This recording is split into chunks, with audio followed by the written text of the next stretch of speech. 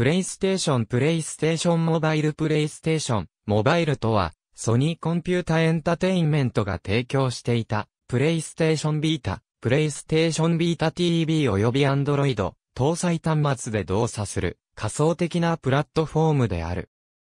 従来のプレイステーションハードウェアで専用ソフトを実行していた環境とは違い、多種多様環境下で共通仕様の仮想的なハードウェアを設定し、その中で共通のソフトウェアを実行させるというプレイステーションの世界を広げる試みであった。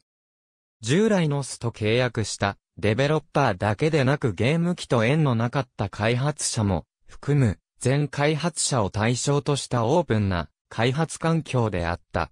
しかし、2014年8月に Android でのサポートを打ち切り、以降はプレイステーションビータ及びプレイステーションビータ TV に特化したアプリケーションに注力することが発表となった。さらに2015年3月には、プレイステーションビータも含めて、サービスを完全に終了することが発表となり、同年7月15日で、コンテンツの新規販売を終了、9月10日に、すでに購入したコンテンツの再ダウンロードも終了した。PSM アプリケーションは、直接 OS の下で実行されるものではなく、仮想マシンにて実行される。実行バイナリーも CPU に依存しないマネージコードとなっていて、構造上 ARM 以外での動作が不可能ではなかったが、ARM 系 CPU のハードウェア上のみの動作にとどまった。実際、SDK には PC、AT5 換気 Windows 環境下のシミュレーターも付属していた。2012年11月20日より提供開始されたプレイステーションモバイル開発サポートプログラムであり、正式版のプレイステーションモバイル SDK も提供される。ソニーエンターテイメントネットワークアカウントを持っていれば、誰でもデベロッパー登録ができた。テスト、デバッグには PC 上のシミュレーターを使用する。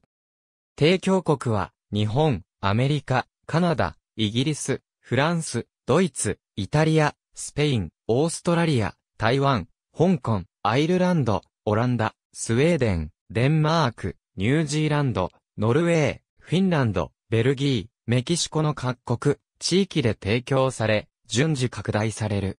プレイステーションモバイルを介してソフトを作ることで PS ビータ、アンドロイドで動作するソフトを制作することができる。プレイステーションという名前からゲームソフトを連想しやすいが、一般的な実用アプリも制作可能で、乗り換え案内のアプリやニュースアプリなどを Android と PS ビータ両方に提供できるということになる。開発者側から見れば PS ビータに加えて Android の市場も対象として制作でき、ス側から見れば PS ビータのコンテンツを拡充することができる。ソフトウェア開発キットは一般に公開され、個人や学生でもソフトを作りプレイステーションストアを経由して販売することができるため、今までは家庭用ゲーム機はハードルが高く、難しいと考えていた開発者もソフトを開発、提供することができるようになるとしていた。また、ゲーム機外の分野から開発者をプレイステーションに集める戦略の一環としていた。プレイステーションモバイル公式開発サポートのツイッター ID はスゴーディバサポートとなっている。開発関係ハッシュタグは、ススータデブが使われているが解明により、スモーデブに移行した。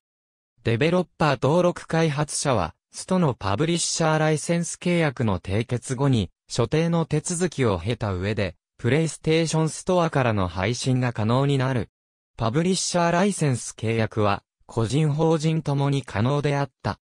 実機すなわちプレイステーション Vita、プレイステーション Certified デバイス上でのテスト、デバッグには、パブリッシャーライセンスが必要であった。プレイステーションモバイル SDK は、プレイステーションモバイルプラットフォームで動作するアプリケーションソフトウェアを開発するためのソフトウェア開発キットである。2012年4月19日に開始したオープンベータ版から PS ビータ上で動作検証が可能になったが、正式版とともに実機動作はパブリッシャーライセンスが必要となった。クローズドベータテスト、オープンベータテストともに個人で参加可能だった。デベロッパー登録をすれば無料で入手可能。正式版で開発したアプリケーションはパブリッシャーライセンス契約した上で所定の手続きをすれば PS ストアにて配信される。開発言語は C だが言語の種類は柔軟に対応するとしていた。Windows 版しか SDK が存在しない。バージョン0.99より SDK の名称も正式名称に合わせて変更された。正式サービス開始に合わせて更新され、バージョン1.00となっている。バージョン2.0から Android はサポート対象外となった。標準ライブラリーの他に、Core API には以下のものを揃えていた。認証された機種にはこのアイコンが付けられる。 PlayStation Certified は、Android 搭載端末メーカーに対する、 PlayStation Mobile 対応サポートプログラムである。コンテンツ再生において、 PlayStation クオリティが保てる機器には、 PlayStation Certified ロゴがライセンスされる。この認証が通った機器の総称は、 PlayStation Certified デバイスである。 PlayStation Mobile のサポートが Android 4.4.2で打ち切られることになったため、Android のバージョンを4.4.3以降にアップデートした場合、コンテンツが正常に作動しなくなる可能性がある。Xperia Play は、 DUALSHOCK 3対応となっているが、Android 4.2へとソフトウェアアップデートが必要となる。プレイステーションモバイル専用コンテンツは、2012年10月3日より、プレイステーションストアにて配信された。それと同時に、初代プレイステーションのゲームの配信は終了となった。日本、アメリカ、カナダ、イギリス、フランス、ドイツ、イタリア、スペイン、オーストラリアの9カ国にて開始され、順次拡大される。